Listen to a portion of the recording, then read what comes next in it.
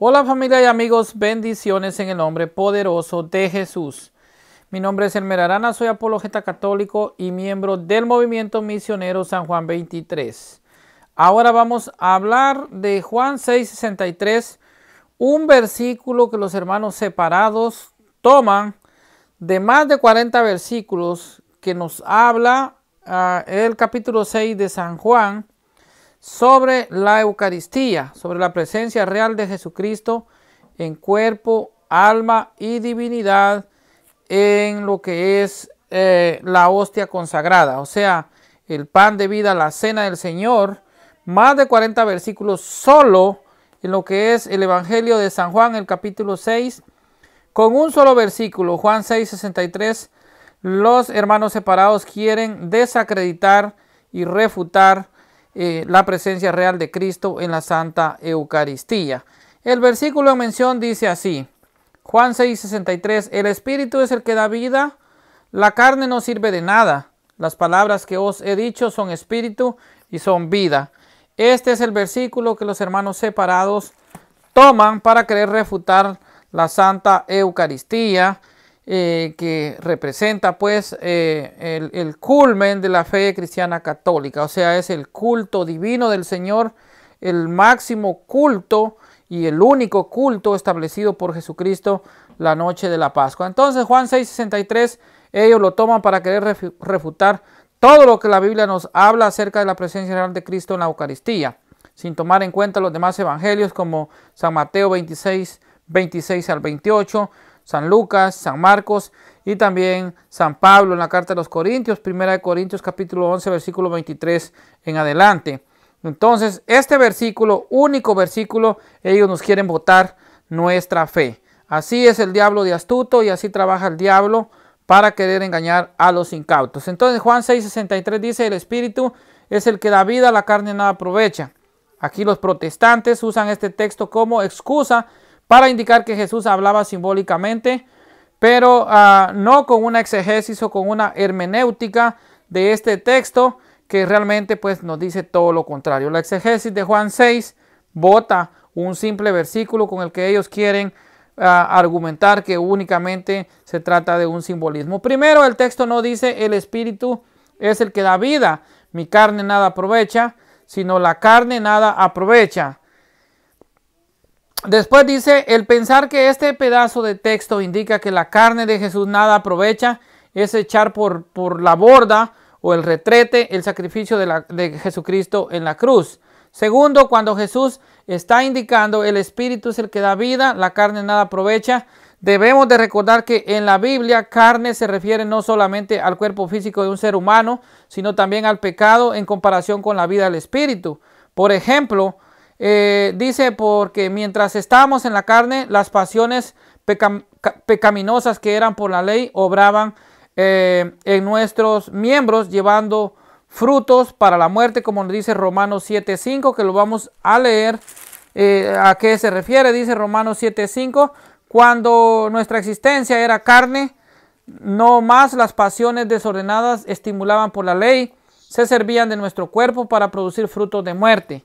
O sea, está hablando realmente de las obras eh, que hace la carne y no andar en el espíritu. Igualmente que también nos dice eh, Romanos 8 eh, y 4 y 5 que nos dice, a, raíz de eso, la perfección que, proponía la ley había de verificarse en lo, que, en lo que realmente andamos por los caminos de la carne, sino por los del espíritu. O sea, Aquí este texto prácticamente nos está hablando de ver las cosas espirituales y no carnales. Y a esto se refiere San Pablo en la primera carta de los Corintios, capítulo 11, eh, versículos del 23 en adelante, cuando utiliza el término eh, griego diácrino, que es discernir y entender. Entonces también San Pablo, en lo que es la carta a los Gálatas, nos habla de cómo realmente trabaja pues cuando uno anda en lo que es la carne, dice la carne tiene tendencias contrarias a las del espíritu y el espíritu tiene tendencias contrarias a la carne, como nos dice Gálatas 5:17. Así que también vamos a leer lo que nos dice la primera carta a los Corintios en el capítulo 2 y versículo 14. Dice, el hombre que se quedó en lo humano no entiende las cosas del espíritu. O sea, el hombre que ve las cosas desde una manera carnal y no las ve con el espíritu, no entiende. Y es por eso que San Pablo nos habla de diácrino, de discernir, de entender, de verlos con ojos espirituales. Y eso es lo que hacemos nosotros los católicos cuando creemos en la presencia real de Jesucristo sacramentado en la Santa Eucaristía. El versículo 13, la primera de los Corintios 2.13 dice, todo eso es lo que conversamos, no es el lenguaje de la humana sabiduría, sino con aquellas palabras que nos enseña el Espíritu de Dios. O sea, tenemos que ver con las, las, las cosas con ojos espirituales, con el Espíritu. Pero si usted las ve en la carne, ah, prácticamente pues no va a entender lo que nos está hablando la palabra.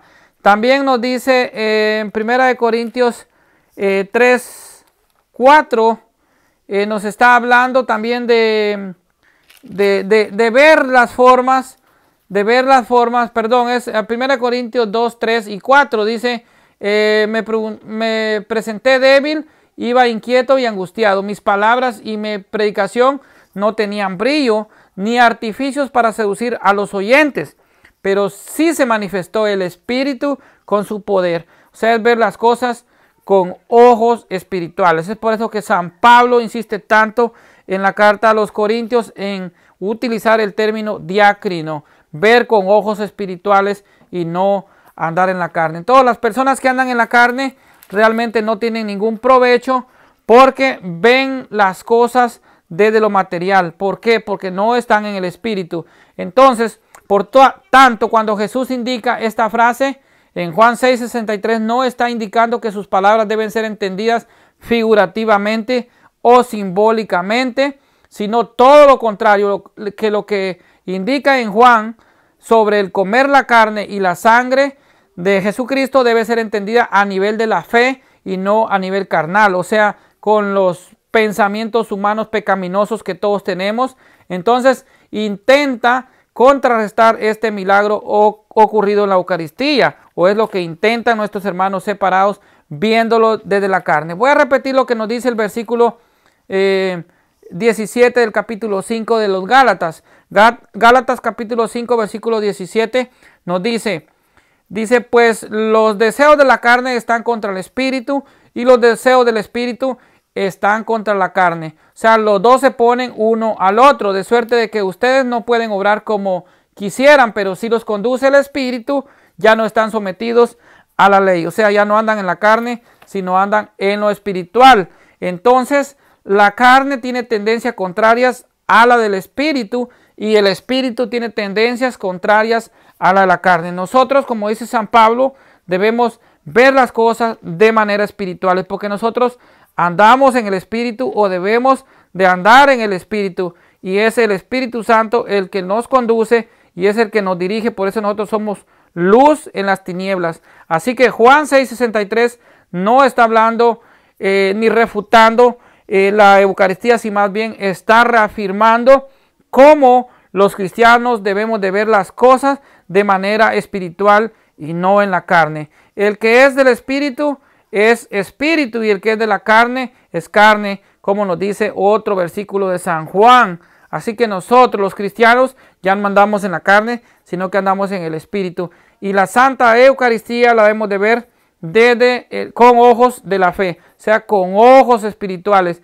Y a eso se refiere Juan 6:63. Lo que hace Juan 6:63 es confirmar eh, los restantes 40 versículos que nos habla el apóstol amado San Juan en lo que es realmente pues eh, más de 40 versículos acerca de la Santa Eucaristía, la máxima, ah, el culmen de la fe cristiana católica.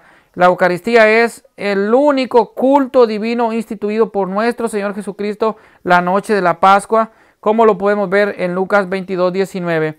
Hagan esto en memoria mía no es un simple recuerdo, sino que es un memorial de la muerte de Cristo, pero con sacrificio. Ahí se utiliza la palabra anamesis, que significa un, un memorial con sacrificio, el sacrificio de salvación que efectuó nuestro Señor Jesucristo en la cruz del Calvario.